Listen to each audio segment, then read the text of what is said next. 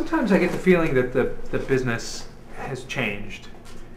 I mean, I, I look at you guys and I think it's just not the same as it used to be. Well, I don't know. What's the price of success? It, uh, y- you have to be a little more respectable.